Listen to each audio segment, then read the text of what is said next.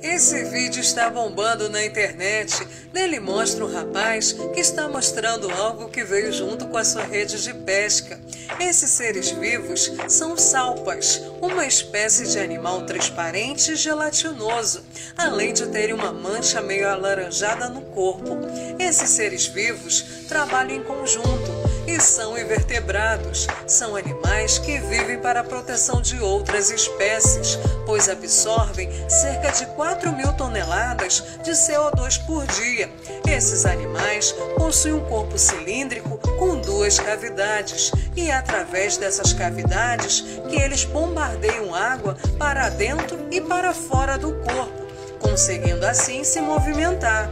Eles se alimentam de todo fitoplâncton espalhado pelos oceanos.